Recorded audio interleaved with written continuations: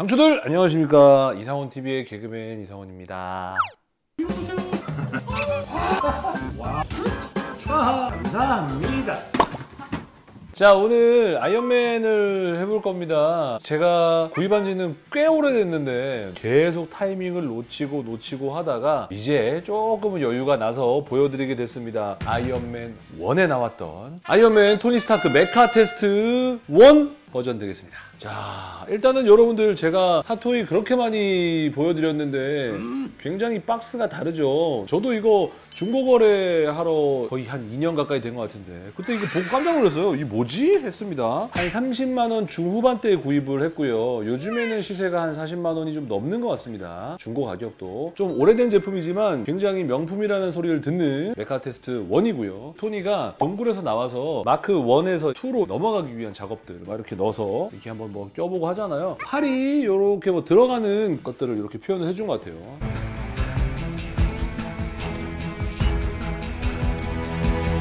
뒤쪽은 발 쪽인 것 같고요. Collector's Edition이라고 써있고 아이언맨 1입니다. 박스가 조금 해졌어요. 보관 상태가 그렇게 좋진 않지만 한번 또 열어보도록 하겠습니다. 초반에 열어보고 진짜 오랜만에 열어보거든요. 기대가 됩니다. 이거 뭐 어떻게 열었지 이거? 아, 어, 아닌데? 아, 요렇게 요렇게 열어요. 요렇게 열어서 야 1층이 또 있고 2층이 있고 거기도 모자라서. 아 이게 이렇게 써야 되는데? 어 이게 다 구겨졌다. 아, 보관 상태가 좀 좋진 않았어요. 이렇게 덮어져서 나왔어야 되는데 바닥에 깔려있네 그때야 제가 뭐 이거 리뷰할 줄도 모르고 유튜브 할 생각도 안 했으니까 2년 전만 해도 그냥 막 넣어놓은 것 같아요. 자 이렇게 10년 전 토니의 젊었을 때 이 모습을 표현을 해주고 있고요. 어? 이건 뭐지? 2010년에 코스베이비가 나온다. 네, 여기도 워머신이 나온다. 워머신도 이거 die-cast는 아닌 것 같아. 그냥 일반 버전 die-cast 출시 전에 거 나온다. 이런 것들도 추억 뿜뿜 카탈로그도 들어 있고요. 이렇게 구성은 3개가 되어 있습니다. 아이언맨 토니가 들어있는 박스 그리고 메카 테스트 할 수 있는 더미와 바닥판 그리고 배경지까지 이렇게 3개가 들어 있습니다.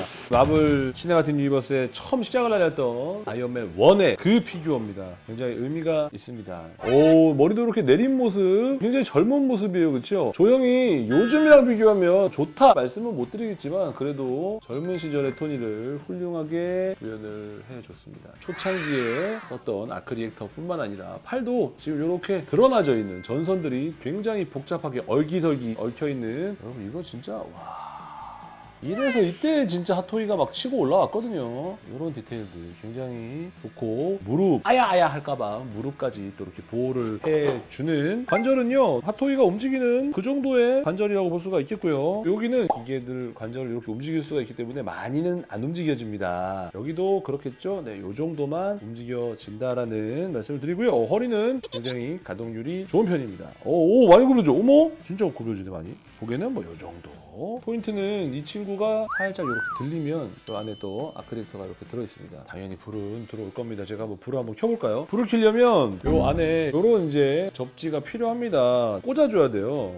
뒤에 이렇게 매달아줘야 됩니다. 안에 내장형은 아니었었습니다. 이렇게 건전지가 있을까 모르겠네요. 이게 워낙 제품이 조금 돼가지고 지금 이걸 지금 거들 수는 없는데 여기 지금 있어요. 이걸 지금 켜주면 불이 들어와야 됩니다. 불이 제발 들어와라. 역시나 안 들어옵니다. 오래돼서 팔에는 불이 들어옵니다. 실제로 저 안쪽에 보이는 요 스위치 요거를 진짜 누르면 불이 들어옵니다. 켰다 껐다 켰다? 껐다 어, 팔에 불이 들어옵니다. 아 여기도 지금 여기를 키면 발바닥에도 불이 원래는 들어와야 되는데 불이 들어오지 않습니다. 건전지가 굉장히 오래돼서 그런데 등을 굉장히 많이 올려줘야 여기에 스위치가 있습니다. 여기에. 뭐 이렇게까지 열 필요는 없고 그냥 닫은 상태에서 여기를 이제 만져주고 켜면 되겠죠. 이 스위치를.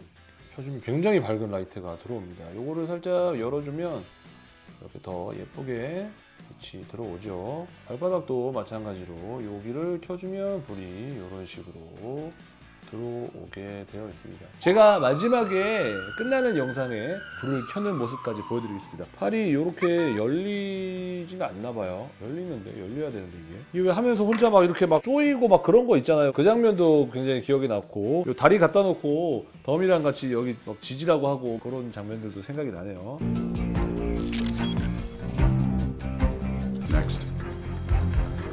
Up. Not until you've done it. Ready. Gun. 이쪽에 보시면 여기 지금 요거 있어요. 얘를 이렇게 딸칵 열어주면 이렇게 열릴 수가 있게 아 되어 있습니다. 이렇게 아래쪽으로 살짝 빼줄 수가 있을까요? 좀 위험합니다. 오.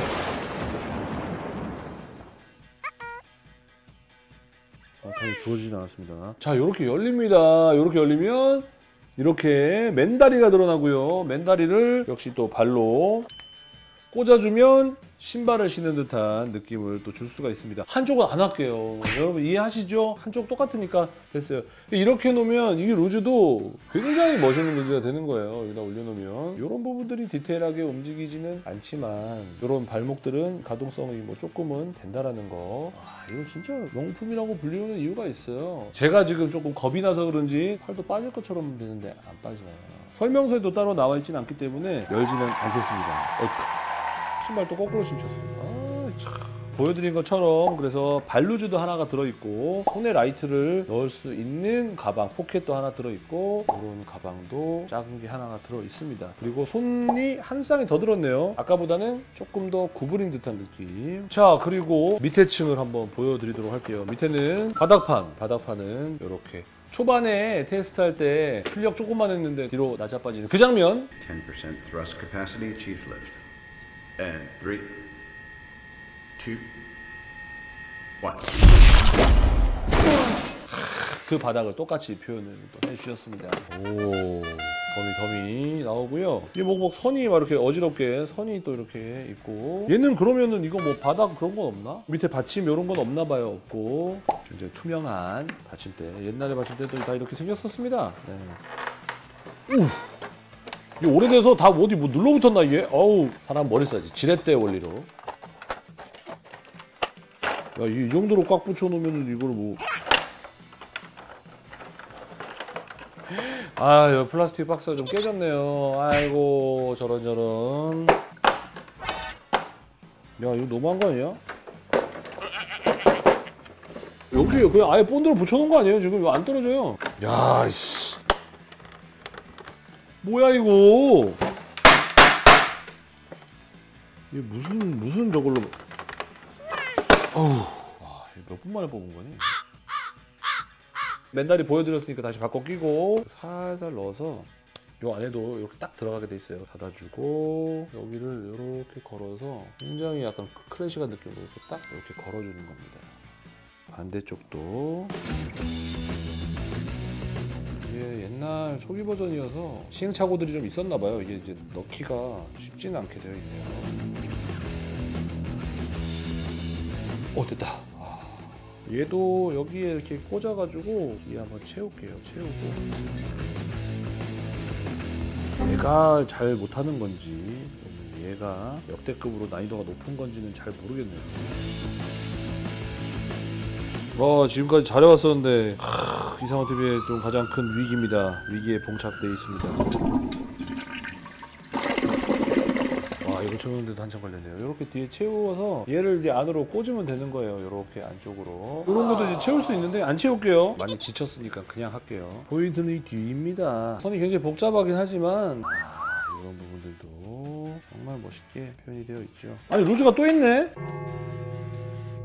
전기선 연결하는 배터리 하나 있고 공중에 날고 있는 듯한 느낌을 표현을 할 수가 있고요. 이 친구도 더미도 이런 식으로 생겼습니다. 소화기를 잡고 있기도 하고 이런 부분들도 이렇게 피스톤 작용을 또 해주고 이 전체적인 모습도 이런 식으로 와, 이 뭐 가동은 굉장히 잘 됩니다. 당연히 이렇게 돌아가고요. 진액끼리도 돌아가고요. 이 녀석도 움직이고요. 여기도 움직이고요. 영화에서 보는 그런 가동 느낌은 다 된다라고 보시면 될 것 같아요. 얘가 여기 있고 이거 있잖아요, 이거. 물론 여기 뭔가에 불이 들어오거나 하는 건 아닌데 그냥 기분상 여기 이렇게 꽂아서 얘랑 이제 연결을 하는 것 같아요. 안쪽으로 하나씩 하나씩 해가지고 선들을 연결을 시켜줍니다. 줄은 4개가 들었네요. 이런 식으로 연결을 하면 되겠습니다. 사실 이거 뭐 큰 의미 없어요. 무슨 의미가 있니? 이거 여기다가 꽂는데. 아까 보여드렸던 그 힌지 고고 여분도 하나 들었네요. 한 쌍이. 이걸 이렇게 열어보면 오호 오호 요런 식으로 들어가면 토니 스타크의 메카 테스트 디오라마를 꾸밀 수가 있는 제품이네요. 디테일 하다면 디테일 할 수 있는 건 1, 0, 1, 2 있잖아요. 요거를 요렇게 연결시키면 3.